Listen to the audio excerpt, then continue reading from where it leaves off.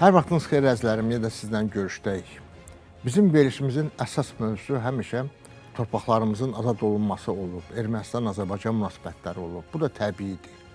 Biz daha çox hərbi əməliyyatlardan danışmışıq, diplomatik mübarizədən danışmışıq, informasiya mübarizəsindən danışmışıq. Bu gün isə biraz biz bu mövzunu davam etdirmək istəyirik və genişləndirmək istəyirik.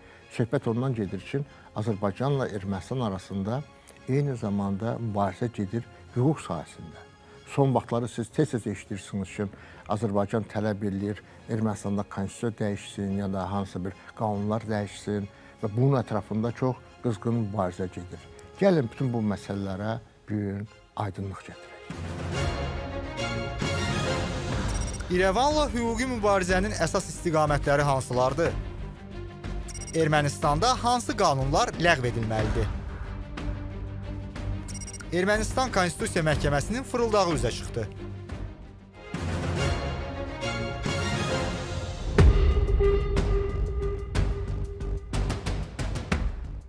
Mən hətta deyərdim ki, son dövrlərdə hüquqi mübarizə əsas e, mübarizə xəttidir. Ona görə ki, Azərbaycan tərəfinin mövqeyi var. Ermənistan konstitusiyada dəyişikliklər etməsə, e, Ermənistanla heç bir müqavilə imzalanmayacaq. Yəni bu məsələlərin aktuallığı çox artıb son dövrlərdə. Ümumiyyətlə hüquq sahəsində mübarizədən danışanda biz e, ilk növbədə e, üç istiqaməti görürük. Üç istiqaməti qeyd etməliyik. Birinci istiqamət Ermənistanın konstitusiyasıdır. Biz istəyirik ki, erməni tərəfi həmin konstitusiyada müəyyən dəyişikliklər etsin.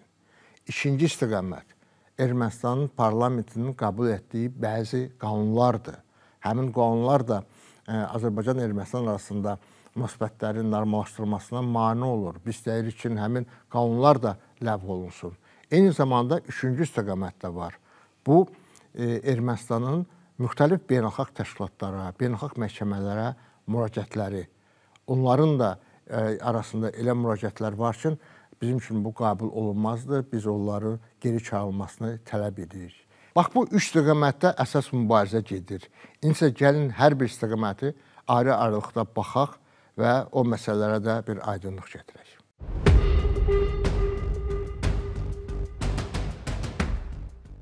Bizim Ermənistan konstitusiyası ilə bağlı iradımız və tələbimiz nədən ibarətdir? Gəlin diqqətlə baxaq. Ermənistan konstitusiyasında nələr yazılıb? Erməni xalqı Ermənistanın müstəqillik bəyannaməsində təsbit olunmuş erməni dövlətçiliyinin fundamental prinsiplərini və milli məqsədlərini əsas götürür. Konstitusiyada istinad olunan bəyannamədə isə görün nələr deyilir. Ermənistan SSR Ali Sovetinin və Dağlıq Qarabağ Milli Şurasının 1 dekabr 1989-cu il tarixli Ermənistan SSR və Dağlıq Qarabağın birləşdirilməsi haqqında birgə qərarına əsaslanaraq xalqların öz müqəddəratını təyin etmək hüququnu həyata keçirərək Bu hüquqi e, sənədləri, hüquqi dili siyasi dilə çevrilsək nə alınır? Deməli, Dağlıq Qarabağda yaşayan e, erməni əhalisi separatçı hərəkata qoşulandan sonra onlar Ermənistanın Ali Sovetindən bir yerdə qərar qəbul edirlər. Birləşmək haqqında. Yəni Dağlıq Qarabağ Muxtar Respublikası ayrılır Azərbaycandan, birləşir Ermənistan Sovet Sosialist Respublikası ilə. Və bu birləşməni onlar bir e, bəyannamə kimi qəbul edirlər və ondan sonra da onun əsasında onlar yeni dövlət sanki yaradırlar. O dövlət artıq Sovet Sosialist Ermənistan Respublikası deyil. Bu eyni zamanda ora daxildir güya ki bizim Dağlıq Qarabağ Muxtar Respublikamız. Və onlar bu yeni dövləti yaradırlar. Bununla da bağlı bəyannamə qəbul edirlər və bunu da konstitusiyalarında əks etdirirlər ki, bax Ermənistan dövlətinin konstitusiyasında deməli bu birləşmə vaxtilə baş verib, Dağlıq Qarabağ Ermənistanla birləşib. Belə bir halda təbii ki, Azərbaycan tələb eləyir erməni tərəfindən ki, sən bu konstitusiyanda dəyişiklik et. Azərbaycanla sülh istəyirsənsə, bu konfliktə son qoyursansa, Azərbaycana qarşı ərazi iddiaların sənin yoxdursa, sənin konstitusiyanda belə maddələr ola bilməz. Və beynəlxalq təcrübə də bunu göstərir. Məsəl üçün e, Böyük Britaniya ilə e, İrlandiya arasında uzun illərdir konflikt mövcud idi. Şimali İrlandiya ilə bağlı. Şimali İrlandiya Böyük Britaniyanın tərkibində idi. Və bu konflikt dövründə İrlandiya Respublikasının konstitusiyasında bu məsələ ilə bağlı müəyyən bir maddələr var idi və nəhayət bu iki tərəf arasında sülh razılaşma olanda həmin razılaşmada ayrıca bir bənd saldılar ki, İrland Respublikası 30 gün ərzində referendum keçirilir və öz konstitusiyasında dəyişikliklər edir. Ona görə ki, bu yeni müqavilə sülh haqqında razılaşma onu tələb edir ki, e, hüquq sistemində, konstitusiyalarda, qanunlarda bir-birinə qarşı heç bir ərazi iddiası olmasın. Yəni bu beynəlxalq təcrübə də bunu diktə edir. Ona görə də Azərbaycan tamamilə haqlı olaraq erməni tərəfinə qarşısında bu tələbi qoyur. Bizlə sülh istəyirsənsə, həm sülh müqaviləsi olmalıdır, eyni zamanda sən öz konstitusiyanda dəyişikliklər etməlisən. Azərbaycana qarşı ərzi iddialarını oradan çıxartmalısan.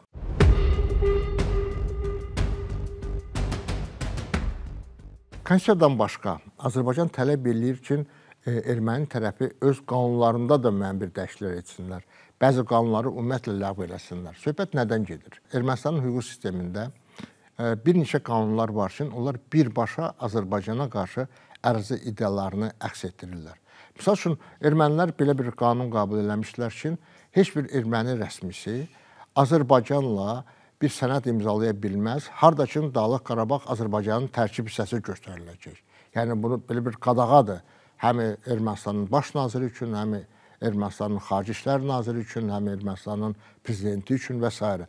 Təbii ki, əgər belə bir qanun mövcuddursa və o ləğv olunmayıbsa, biz onu tələb edirik ki, bu qanunda ləğv olunmalıdır ki, Azərbaycanla Ermənistan arasında sülh sazişi imzalansın. Ya da orada başqa bir qanun var. Ermənistanın Ali Soveti e, Almatı bəyannaməsinin ratifikasiyası zamanı, yəni MDB-nin yaranması haqqında qanunun ratifikasiyası zamanı belə bir düzəliş orada qəbul elədi ki, bu məsələ Azərbaycanın ərazi bütövlüyünə aid deyil. Yəni Qarabağ Azərbaycandan ayrılıb, Qarabağ müstəqil bir dövlətdir güya ki və Qarabağın hüququ var e, birbaşa özü e, MDB-yə bir üzv kimi qəbul olunsun. Bu düzəliş bu günə kimi də ləğv olunmayıb. Ancaq eyni zamanda Nikol Paşinyan deyir ki, e, Azərbaycanla Ermənistan arasında sülh sazişinin əsasını bəs bu Almatı bəyannaməsi təşkil edir. Buna əsaslanıb biz sərhədlərimizi müəyyənləşdirəcəyik. Əgər belədirsə, sizin parlament Almatı bəyannaməsini qəbul edəndə düzəliş eləyib ki, Qarabağ Azərbaycanın tərkibində deyil. Belə olanda sən bu vəziyyəti dəyişməlisən, bu qanunu ləğv eləməlisən, buna düzəliş etməlisən. İkinci deməli istiqamət, birinci istiqamət bu konstitusiya dəyişikliyi idi. İkinci istiqamət isə Ermənistanda qəbul olunmuş bu tipli qanunlardır. Mən ikisini misal kimi gətirdim. Ancaq hüquqşünaslarımız yəqin ki, bundan daha çox misallar bilirlər. Ermənistan qanunlarında harda bizə qarşı ərəzi iddiaları var. Üçüncü istiqamət isə bu Ermənistanın beynəlxalq təşkilatlara, beynəlxalq məhkəmələrə müraciətləridir. Gəlin bu məsələdə biraz dəqiq olaq. Söhbət ondan getmir ki, biz Ermənistana qadağan eləyirik.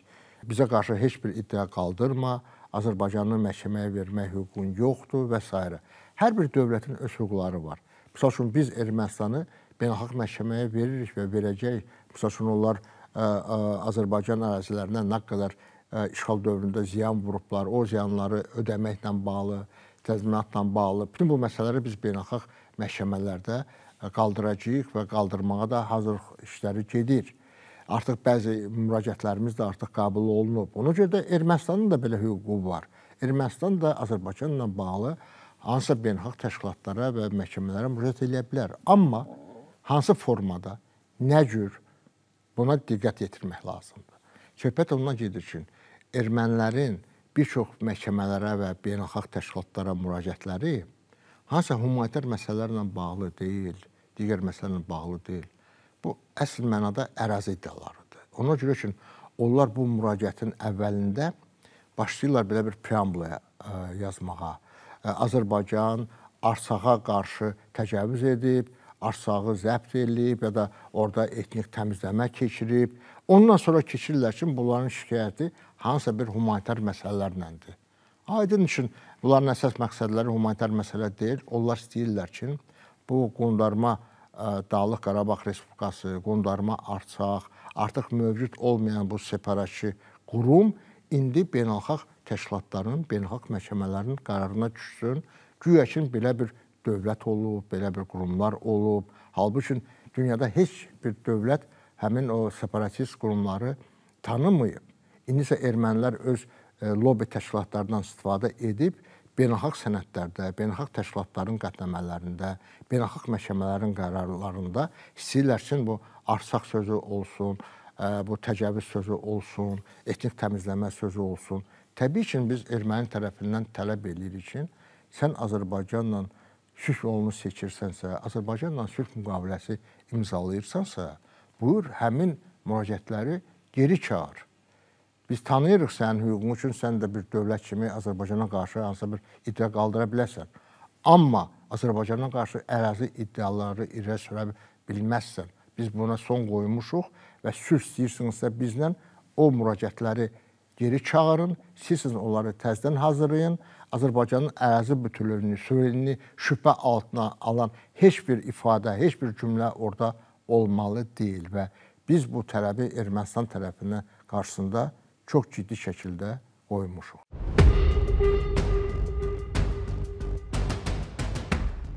Bəs erməni tərəfi bizim bu tələblərimizə, iradlarımıza nə cür cavab verir? Erməni tərəfinin reaksiyasını təhlil edəndə bir məqamı ə, e, xüsusi vurğulamaq istəyirəm. Birincisi, onlar dolayısıyla yolla təsdiq edirlər ki, Azərbaycan bütün bu e, iradlarda, bütün bu tələblərdə haqlıdır. Bunu açıq demirlər. Dolayısıyla da bunu biruzə verirlər. Məsəl üçün erməni tərəfi bir tərəfdən deyir ki, siz bizim daxili işlərimizə qarışırsınız, tələb edirsiniz ki, bizim konstitusiyamızda dəyişiklik olmalıdır, konstitusiya bizim daxili işimizdir və s. Amma digər tərəfdən Ermənistanın baş naziri artıq elan edib ki, Ermənistana yeni konstitusiya lazımdır. Referendum bunlar keçirmək istəyirlər. Ermənistanın yeni konstitusiyasının qəbul olunması ilə bağlı. Ermənistan müxalifəti açıq deyir ki, bu addım məhz Azərbaycanın tələblərini yerinə yetirmək üçün atılacaq. Bu yeni konstitusiyanı qəbul edəndə də Azərbaycanı narazı salan bütün maddələr oradan yəqin ki çıxarılacaq. Yəni erməni tərəfi sanki dolası yolla deyir ki, həqiqətən də bizə yeni konstitusiya lazımdır. Digər məsələ qanunların dəyişməsindən bağlı.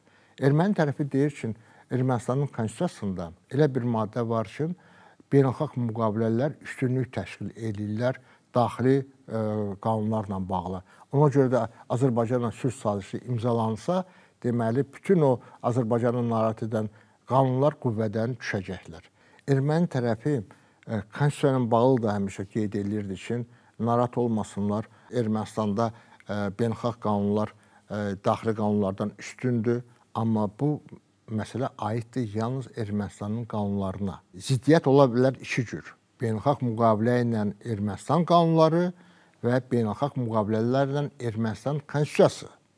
Qanunlarla beynəlxalq müqavilələrin arasında ziddiyyət həll olunur beynəlxalq müqavilələrin xeyrinə. Bu mənada onlar həqiqətən də düzün deyirlər. Azərbaycanla sülh müqaviləsi imzalansa, onda buna uyğun gəlməyən Ermənistan qanunları qüvvədən düşəcəklər. Amma konstitusiya ilə bağlı ziddiyyət olanda, onda Ermənistan konstitusiyası başqa şey deyir. Deyir ki, konstitusiyada düzəliş olmalıdır. Yalnız konstitusiyada düzəliş olandan sonra beynəlxalq müqavilə ratifikasiya oluna bilər. Elə bizim də tələbimiz buna görə bundan ibarətdir ki, sən öz konstitusiyana düzəliş et ki, Azərbaycanla sülh müqaviləsini imzalaya biləsən. Və beynəlxalq təşkilatlara müraciətlə də bağlı Ermənistan mətbuatında tez-tez belə açıqlamalar olur ki, Azərbaycan tərəfinin bu tələbini qəbul etmək olar. Ə, Azərbaycanla e, hansısa bir razılıq əldə olunub, yəni bu hələ rəsmi saziş deyil. Belə müraciətləri biz dayandıra bilərik və s. Yəni hiss olunur ki, hər üç istiqamətdə erməni tərəfi anlayır Azərbaycanın tələbləri haqlıdır və bu tələbləri onlar yerinə yetirməlidirlər. Amma hələlik hansısa bir ciddi addım atılmayıb. Üç istiqamətdən heç birində demək üçün ermənilər e, hansısa bir ciddi e, qərarlar qəbul etməyiblər. Və bu nəyə gətirib çıxardır? Azərbaycanla sülh müqaviləsi indi sual altındadır. Və erməni tərəfi başa düşür ki, əgər sülh müqaviləsi imzalanmayacaqsa, onda günahkar burada erməni tərəfi olacaq. və öz xislətinə uyğun olaraq onlar son dövrlərdə əsas məsələdə Ermənistan konstitusiyasına dəyişiklik etmək məsələsində hiləgər bir şou düzəldib e, görüntü yaratmaq istəyirlər ki, güya ki artıq bu məsələ öz həllini tapıb.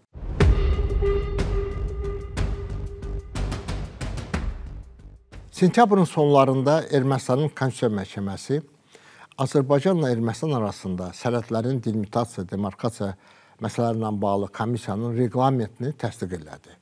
Bu gözlənilən bir hadisə idi. Əvvəldən bəlli idi ki, onlar bu işə baxmalıdılar və onlar qərarlarını verəndən sonra Nikol Paşinyan çox sevincək halda ictimaiyyətə müraciət elədi ki, sanki bütün məsələlər həll olunub, Azərbaycanla sülh sazişi imzalanmaq üçün heç bir daha mane qalmayıb. Ona görə ki, güya ki, Konstitusiya Məhkəməsinin qərarı sübut edir ki, Ermənistan konstitusiyasında heç bir problem yoxdur. Amma Paşinyanın belə sevincək bəyanat verməyi üçün heç bir əsası yoxdur. Əksinə, şəxsən mən hesab edirəm ki, Konstitusiya Məhkəməsinin bu qərarı vəziyyəti daha da mürəkkəbləşdirdi.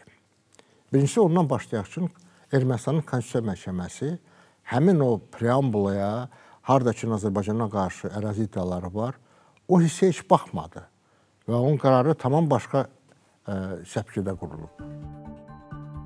Konstitusiya Məhkəməsi Konstitusiyanın preambulasında qeyd olunan əsas qanunun Ermənistan müstəqillik bəyannaməsində təsbit olunmuş erməni dövlətçiliyinin fundamental prinsipləri və milli məqsədləri əsasında qəbul edilməsi müddəasını şərh edib. Məhkəmə belə qənaətə gəlib ki, müddəa konstitusiyada təsbit olunmayan heç bir prinsip və ya məqsədə toxunmur. Konstitusiya Məhkəməsinin qərarının mətnində qeyd olunur ki, bu nəticə indi Ermənistan SSR Ali Sovetinin və Dağlıq Qarabağ Milli Şurasının 1 dekabr 1989-cu il tarixli Ermənistan SSR-nin və Dağlıq Qarabağın birləşdirilməsi haqqında birgə qərarı əsasında müstəqilliyin elan edilməsi haqqında bəyannamədə əksini tapan müddəanın əlavə nəzərdən keçirilməsi zərurətini aradan qaldırır. Siz bir şey başa düşdünüzmü? Şəxsən mən başa düşmədim. Nə Azərbaycan dilində, nə erməni dilində, nə rus dilində, nə ingilis dilində bu qərarın nə əvvəli var, nə başı var. Bu sanki bir əcəb sandal kimi bir şeydir. Burada bir şeyi başa düşmək olur ki, Ermənistanın Konstitusiya Məhkəməsi hesab eləyir ki, bəyannamədə olan maddələr əgər konstitusiyada yoxdursa, onlara bu konstitusiya aidiyyəti yoxdur və buna görə də onlar həmin o bizi narahat edən preambula məsələsinə ümumiyyətlə baxmayıblar. Yəni qərar bundan ibarətdir və bu qərardan heç nə başa düşmək olmur. Bu çox yarımçıq bir ə, ə, qərardır. Heç bir məntiqə sığmayan bir qərardır. Hansı əsasla Nikol Paşinyan bunu belə ə, sevincək ə, bayram edir? Bunu anlamaq çətindir. Xüsusən də nəzərə alsaq ki, burada başqa faktlar ortalığa çıxıb. O faktlar üçün faktiki olaraq Konstitusiya Məhkəməsinin qərarını sıfırlayır. Onları heç edir və erməni tərəfinin bu ikiyüzlü siyasətini, bu yalançı bəyanatlarını, yalançı vədlərini darmadağın edir. Ona görə ki, 1998-ci ildə Ermənistanın Konstitusiya Məhkəməsi bu məsələyə artıq bir dəfə baxmışdı. ...1998-ci ildə Ermənistanda nələr baş verirdi? Ermənistanın prezidentini Levon Ter-Petrosyanı məcburən istifaya göndərdilər və hakimiyyət faktiki olaraq e, baş nazirin əlində, Robert Koçaryanın əlində cəmləşdi. İndi ondan sonra növbədən kənar prezident seçkiləri olmalı idi və həmin seçkilərdə də hakimiyyətin yeganə namizədi elə Robert Koçaryan idi. Onsuz da hakimiyyət onun əlində idi. Amma burada bir mane var idi. Ermənistanın konstitusiyasına görə prezidentliyə namizəd gərək 10 il Ermənistanın ərazisində yaşasın, son 10 ili. Robert Koçaryanda isə bu yox idi. Robert Koçaryan son dövrlərə qədər Azərbaycanın ərazisində yaşayırdı, Qarabağda yaşayırdı, separatçı rejimə orada başçılıq eləyirdi və özü də etiraf eləyirdi ki, mənim prezident seçilmək imkanım indi yoxdur. Amma bir sıra müzakirələrdən sonra, sövdəlaşmalardan sonra erməni tərəfi yol tapdı və Ermənistanın Konstitusiya Məhkəməsi o vaxtı elə həmin biz indi müzakirə etdiyimiz preambula ilə bağlı qərar çıxartdı və qərarın mahiyyəti ondan ibarət idi ki, Dağlıq Qarabağ Ermənistanla birləşmişdi. O qərar heç kim tərəfindən ləğv olunmayıb. Deməli onun real hüquqi gücü var, o indi də güclədir və ona görə də Robert Kaçaryan Azərbaycanın ərazisində Dağlıq Qarabağda yaşayarkən, orada bu separatçı rejimə rəhbərlik eləyən vaxtı da faktiki olaraq Ermənistanın ərazisində yaşayırdı sən demə. Ona görə ki, artıq bunlar birləşmişdilər və ona görə də Ermənistanın Konstitusiya Məhkəməsi yaşıl işıq yandırdı Robert Kaçaryan üçün sən Ermənistanın prezidenti seçilə bilərsən. Yəni belə bir Konstitusiya Məhkəməsinin qərarı oldu 1998-ci ildə və bunu gizlətmək, bunu örtbasır etmək qeyri-mümkündür.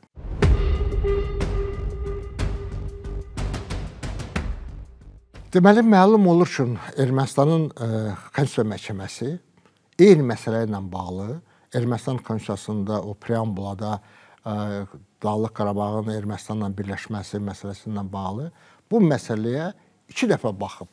1998-ci ildə və indi bax bu sentyabr ayının sonlarında 2024-cü ildə. 1998-ci ildə Ermənistanın Konstitusiya Məhkəməsinin qərarı çox dəqiq və konkret idi birbaşa deyilirdi ki, bəli, birləşmə baş verib, konstitusiyada öz əksini tapıb, onu heç kim ləğv eləməyib, bu qərarlar denonsasiya olunmayıblar, deməli qüvvədədirlər, deməli Robert Kaçaryan bütün bu illəri Ermənistan ərazisində yaşayırmış, deməli onun prezident seçilmək də imkanı var. İndi isə üstündən bu qədər vaxt keçəndən sonra 2024-cü ildə Ermənistanın Konstitusiya Məhkəməsi dediyim kimi məmalı bir qərar çıxarır. Əslinə qalsa qeyd eləyir ki, mən bu preambula məsələsinə ümumiyyətlə baxmıram. Onu deməli ona qiymət vermirəm. Ona görə ki, e, deklarasiya olan məsələlər konstitusiyada olmasa, deməli konstitusiya aidiyyəti yoxdur. Çox gülməli arqumentlər, amma hamı başa ki, əgər eyni məsələ ilə bağlı bir e, məhkəmə ayrı-ayrı qərarlar çıxardırsa, onda hansısa bir qərar ləğv olunmalıdır, o birisi qərar qüvvədə qalmalıdır. Yəni Ermənistanın Konstitusiya Məhkəməsi gərək sentyabrın axırlarında öz qərarında elan edərdi ki, bizim 1998-ci ildə qəbul etdiyimiz qərar qüvvədən düşür ya da ləğv olunur. Bunu onlar etmirlərsə, deməli o qərar da qüvvədə qalır bu günə kimi. Ona görə Paşinyan nəyə sevinir? nəyi bəyan edir, nə əsasla deyir ki, Azərbaycanın narahat edən bütün məsələlər öz həllini tapıb, Ermənistan konstitusiyasında sən demə heç bir problem yoxdur, heç bir ərazi iddiası yoxdur. Necə ərazi iddiası yoxdur? Elə Ermənistanın Konstitusiya Məhkəməsinin qərarı ilə 1998-ci ildən Dağlıq Qarabağ Ermənistana birləşib bu vahid bir güya ki, dövlət yaradıblar e, və bu qərar bu günə kimi də ləğv olunmayıb. Burada sual yarana bilər. Bu iki qərardan hansı yanlışdır, hansı düzgündür? 1998-ci ildə qəbul olunmuş qərar, yoxsa indi 2024-cü ildə qəbul olunmuş qərar? Əslində qalsa hər iki qərar yanlışdır. Hər iki qərar siyasi konjunkturadan irəli gələn qərardır. Heç biri hüquq normalarına uyğun deyil. 98-ci ildə Robert Kaçaryanın heç bir hüququ yox idi, haqqı yox idi həmin seçkilərə qatılmağa. Amma Ermənistanın Konstitusiya Məhkəməsi siyasi konjunkturadan irəli gələrək belə bir qərar qəbul elədi və Robert Kaçaryana köməklik elədi ki, o hakimiyyətdə rəsmi yerinə bilsin, prezident seçkilərində iştirak edə bilsin. Elə indi də sentyabrın axırlarında Ermənistanın Konstitusiya Məhkəməsi yenə də yanlış qərar qəbul edir. Yenə də siyasi konjunkturadan irəli gələrək bu dəfə Nikol Paşinyana yardım etmək üçün, Nikol Paşinyana bir imkan yaratmaq üçün o bəyanat versin, nə bilim desin ki, konstitusiyamızda hər şey qaydasındadır. Amma mən həmin mətnin tam versiyasını bilirəm. Tam mətnə baxmışam. Həmin qərarda Ermənistanın Konstitusiya Məhkəməsi açıq yazır ki, biz burada hüquqi qərar qəbul eləsək, deməli Ermənistanda konstitusion iki tirəlik yaranacaq və inqilab başlayacaq öz balalarını yeməyə. Orada belə ifadələr var. Yəni yəni Ermənistanın Konstitusiya Məhkəməsi də açıq etiraf edib ki, biz qərarı hüquq normalarına uyğun versək, onda Ermənistanda vətəndaş müharibəsi başlayacaq və ara qarışacaq. Ona görə onların hüquq sistemi bax bu gündədir. Ona görə də onlar Konstitusiya Məhkəməsinin qərarının tam mətni hələ çap eləmirlər. İndi bu məsələlər, bu faktlar ortalığa çıxandan sonra təbii ki, Azərbaycanın tələbi olmalıdır. Həm konstitusiyanı dəyiş, həm 1998-ci ildə qəbul etdiyin qərarı dəyiş və əslində qalsa elə Konstitusiya Məhkəməsinin də onlarla birlikdə dəyişsə daha yaxşı olar. İndi isə keçirik Aydın söhbətə. Aydın söhbətinin bugünkü qonağını siz yaxşı tanıyırsınız. Əvvəllər onu təqdim edəndə biz deyirdik ADA Universitetinin vitse-prezidenti, ADA Universitetində diplomatiya və inkişaf institutunun direktoru. Bu gün isə biraz fərqli təqdimat da eləyə bilərik onu. Azərbaycanın millət vəkili Fariz İsmailzadə. Fariz müəllim, xoş gördük sizi Aydın söhbətdə. Xoş gördük. Mən minnətdaram dəvətə görə. İlk növbədə biz sizi təbrik edirik bu ə, nailiyyətlə bağlı. Sizin seçki kampaniyanızı mən izləyirdim. Yəqin siz indi bundan sonra ə, eyni zamanda o dairənin dairədə yaşayan seçkilərinizin maraqlarını ifadə edəcəksiniz. Onların problemlərinə də məşğul olacaqsınız. Ancaq eyni zamanda sizin beynəlxalq aləmlə bağlı, beynəlxalq əlaqələrlə bağlı çox böyük fəaliyyətiniz həmişə olub. Yəqin o işdə davam edəcək o parlament çərçivəsində. Bəli, təbii ki, hər bir millət vəkilinin e, iki vəzifəsi olur. Birinci öz dairəsini təmsil etmək, öz seçicilərinin qayğılarını, problemlərini, e, suallarını təmsil etmək və Milli Məclisdə səsləndirmək, onların e, ümumiyyətlə dairənin belə deyək də inkişafına nail olmaq, e, töhfə vermək. Eyni zamanda biz komitələrdə fəaliyyətimizi davam edirik. Mən həm təhsil elm komitəsində, eyni zamanda Beynəlxalq Əlaqələr Komitəsində fəaliyyətimi davam edirəm. Təbii ki, bu beynəlxalq əlaqələr fəaliyyəti mənim ADA Universitetində olan e, işimlə çox yaxından bağlıdır. Biz beynəlxalq konfranslar təşkil edirik, e, çoxlu e, xarici qonaqlar dəvət edirik, diplomatlarla ünsiyyətimiz olur. Yəni o istiqamətdə bəli, əlaqələrimiz var, yaxşı şəbəkəmiz də var və o e, Azərbaycanın xarici siyasətinə dəstək olmaq üçün müəyyən belə deyək dostların sayını artırmaq üçün fəaliyyətimizi davam edəcəyik. Orada sizdə adətən bölgülər olur. Mənim dostlarım millət vəkilləri deyirlər ki, məsəl üçün İsraillə e, dostluq qrupundadır, kim başqa dövlətlərlə. Sizin konkret orada hansı qruplar Bəli, parlamentin var? birinci plenar iclasında dostluq qrupları təsdiqləndi, ümumi səsvermədə orada bölgü aparıldı və mənim üçün e, böyük şərəfdir ki, mənə parlamentdə ən böyük qruplardan biri, ən vacib qruplardan biri Britaniya-Azərbaycan dostluq qrupu e, tövsiyə olunub. Yəni mən oranın sədri seçilmişəm və Britaniya-Azərbaycanla xüsusi əlaqələri var. Burada həm e, biznes, həm siyasi əlaqələr çox güclü inkişaf edib. Ona görə biz bu istiqamətdə Britaniya parlamenti ilə e, əlaqələrimizi, işbirliyimizi davam etməyə çalışacağıq. Var, mənim çox maraqlıdır. Siz deyirsiniz, mənim də gözüm qabağıma bu yaxınlarda baş verən bir hadisə gəlir dünyanın ən güclü və məşhur xüsusi xidmətlərin birinə rəhbərlik edən, misal üçün CIA bu Məşədi Kəşfiyyat Dairəsindən sonra, Mossaddan sonra onların eyni səviyyədə olan Böyük Britaniyanın Mi-6 xidmətinin direktoru Bəli. qəflətən Azərbaycanda səfərdə oldu və biz bir də gördük ki, o adada Xafiz müəllim siz onu qəbul edirsiniz, tələbələr qarşısında çıxış edir. Bu çox qeyri-adi bir bir mənzərə idi. Ona görə ki, adətən e, bu adamın adı da gizli saxlanılırdı. Tamamilə əvvəllər. düz qeyd edirsiniz. Ümumiyyətlə uzun illər bu təşkilat çox gizli fəaliyyət göstərib və heç onun e, rəsmi deyək, belə deyək də rəhbərinin adı və yaxud özünün mövcud olması, təşkilatın mövcud olması da sual altında olub, amma Azərbaycana səfərdən öncə bir neçə gün öncə CIA ilə bərabər CIA rəhbəri ilə bərabər məqalə yazmışdılar. Yadımdadır. Və məqalədə də cənab Burns-la bir yerdə. Bəli, Bill Burns-la bərabər məqalə yazmışdılar. Məqalədə əsasən təşkilatın yeni baxışı, yəni ictimaiyyətə yaxın olmaq, açıq olmaq, cəmiyyətlə sıx işləmək, yəni o istiqamətdə yeni belə deyək də strateji yol xəritəsini göstərmişdilər. Yəqin ki, tələbələrlə də görüş o istiqamətdə aparılmışdı.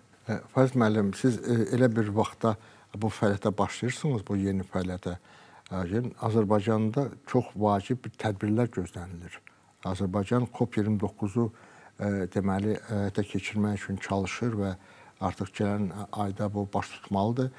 Ancaq bununla da bağlı elə Azərbaycana qarşı olan bəzi bu ermənipərəst, islamofob qüvvələr indi böyük bir kampaniya başlayırlar Azərbaycana müəyyən bir qara yaxma kampaniyasını.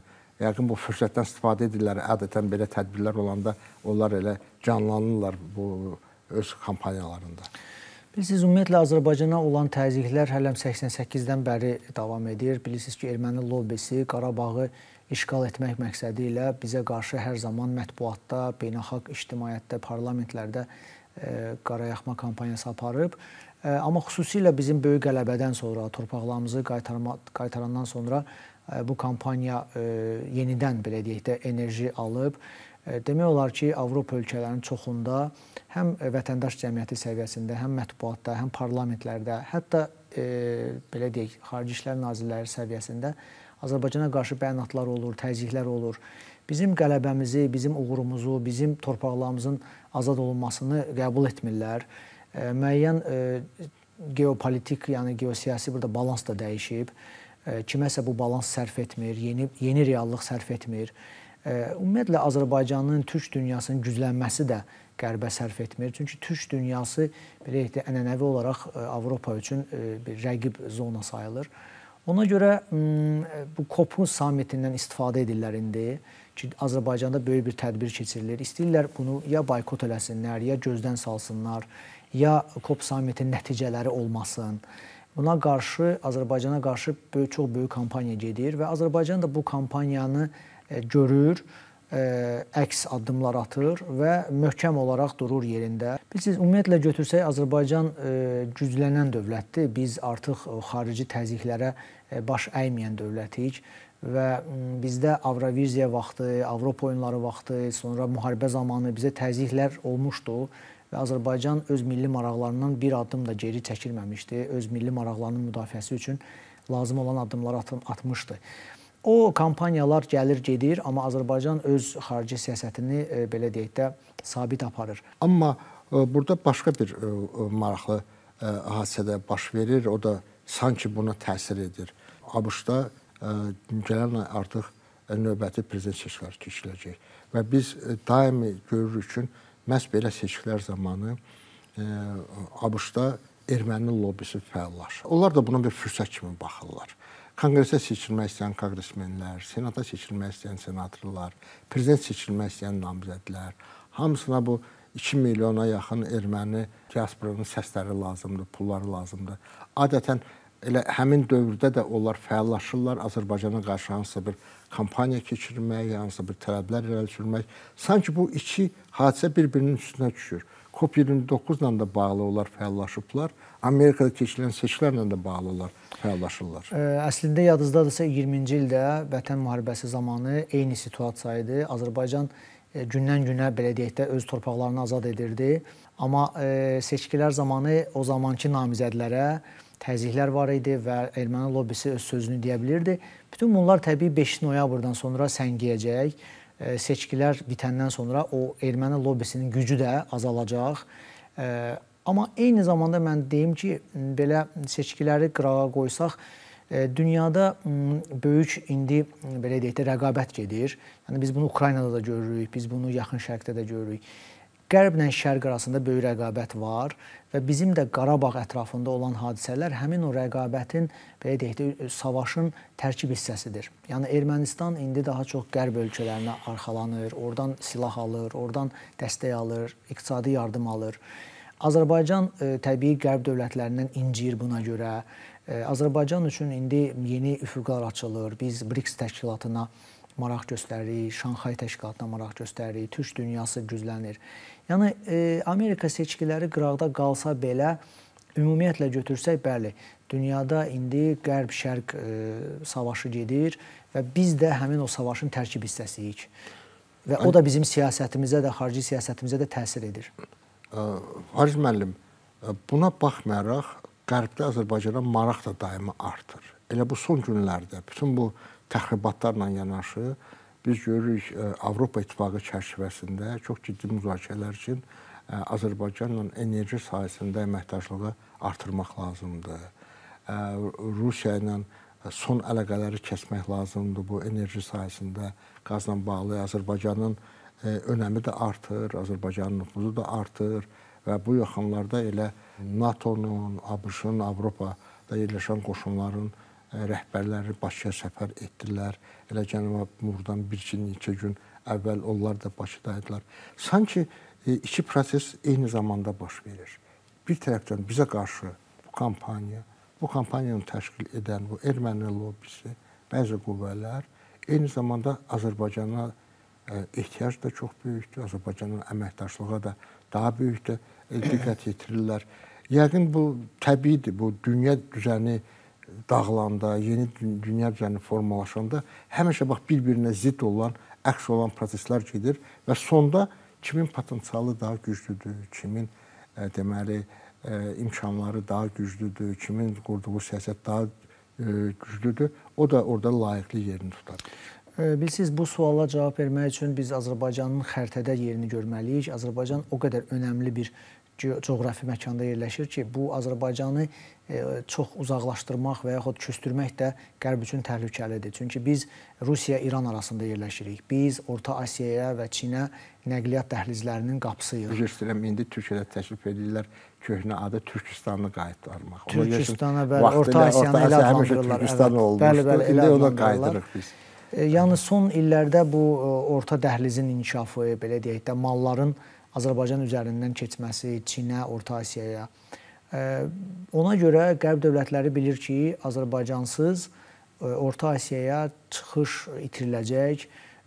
Eyni zamanda Xəzər dənizinə, Xəzər dənizinin enerji resurslarına çıxış itiriləcək. Təbii onlar da Azərbaycanı çox itirməyə risk eləmirlər, amma təzyiqlər artır.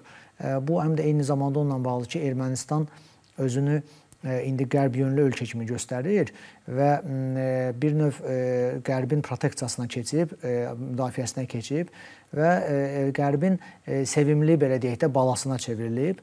Ərköyün balası. Ərköyün sevimli balası, balaca xristian ölkəsi, gəlin mənə dəstək olun, mənə sahib çıxın. Yəni o prizmadan baxsaq, bəli, Qərb e, Ermənistana daha çox dəstək göstərir. Baxın, USAID-nin proqramları nə qədər milyonlarla pul gedir, silah e, alveri e, burada Fransada aktivlik göstərir. İndi Niderland da bizə qarşı kampaniyaya başlayıb. Yəni e, ümumiyyətlə götürsək, bəli, təzyiqlər artır, amma Azərbaycan e, dediyim kimi elə bir ölkədir ki, yalnız milli maraqlarına əsaslanan siyasət aparır və hansısa parlamentin qətnaməsi bizim üçün e, aparıcı faktor kimi ola bilməz. Təbii biz bunu əvvəldən də görürdük. Yəni xəbərdarlığı əvvəldən də edirdik ki, bir neçə ay bizə qarşı belə kampaniya olacaq. Ancaq siz tamamilə haqlı olaraq deyirsiniz ki, bu COP da qutarsın, prezident seçkiləri də qutarsın. Səngiyəcək bəzi. Hər şey səngiyəcək və yenə də Azərbaycanla ə, razılığa gəlmək, Azərbaycanla bir yerdə ə, layihələr qurmaq ə, istəyi üzə çıxacaq, daha da güclənəcək. Və onu da deyim ki, Azərbaycanın kifayət qədər təcrübəsi var artıq multilateral diplomatiyada. Məsəl üçün biz BMT-nin Təhlükəsizlik Şurasının üzvü olmuşuq və sədri olmuşuq. Biz qoşulmama hərəkatında 4 il sədrlik eləmişik. Türk dünyasında belə aktiv rolumuz var. İslam təşkilatında. Yəni bizim çox ölkələri birləşdirib onlar arasında diplomatik danışıqların aparmasında təcrübəmiz çoxdur və hesab edirəm ki, o təcrübə COP zamanı da bizə lazım olacaq. Fariz müəllim, dəvətimizi qəbul edib verilişə gəldiyinizə görə təşəkkür edirəm. Sizə yeni fəaliyyətinizdə də uğurlar arzulayırıq biz. Bundan sonra da ümid eləyəcəyik ki, sizlə tez-tez bu verilişdə görüşürük. Çox sağ olun İlham. Uğurlar, verilişinizə uğurlar. Bax belə əzizlərim, mən sizdən xudafisləşirəm, sizi söz ardı gözləyir. Bu gün bizim verilişimiz efirə girəndə biz bayramımızı qeyd edirik. Müstəqilliyimizi bərpa olunması günüdür. 1991-ci ildə Azərbaycanın Ali Soveti e, müstəqillik e, aktını qəbul elədi və Azərbaycan yenidən özünü müstəqil dövlət kimi elan etdi. Ondan sonra artıq Azərbaycanın konstitusiyası da qəbul olundu, digər hüquqi sənədlər də qəbul olundu. Ancaq çox maraqlıdır. Bu hadisə bu gün biz müzakirə elədiyimiz Ermənistanla Azərbaycan arasında hüquq ə, savaşına da aidiyyəti var. Ona görə ki, biz Ermənistandan tələb eləyəndə ki, sən konstitusiyana dəyişiklik et və bunu sübut eləyəndə ki, bu dəyişiklik edilməlidir. Erməni tərəfi başladı müxtəlif bəhanələr axtarmağa və deməyə ki, yox Azərbaycanın da konstitusiyasında belə bir iddialar var Ermənistana qarşı. Biz soruşanda bu hansı iddialardır? Onlar deyirlər siz özünüzü e, bu müstəqillik e, e, aktında Azərbaycan Demokratik Respublikasının varisi elan edibsiniz. Sovetlər İttifaqına daxil olan Sosialist Respublikasının varisi yox. 1998-ci ildə yaranmış Azərbaycan Demokratik Cümhuriyyətinin isə o vaxtın xəritələrində indi Ermənistan əraziləri də ora ə, daxil olmuşdu. Onu ermənilər belə deyirlər. Amma bütün bunlar hamısı ə, cəfəngiyyətdən başqa bir şey deyil. Biz özümüzü, yeni yaranmış dövlətimizi Azərbaycan Demokratik Cümhuriyyətinin varisi elan etmişik bir səbəbdən. Ona görə ki, biz bizim Sovet dövrümüzü işğal dövrü sayırıq. 11-ci Qızıl Ordu gəlib Azərbaycanı işğal edib. Ona görə də bu işğala biz legitim don geyindirə bilmərik.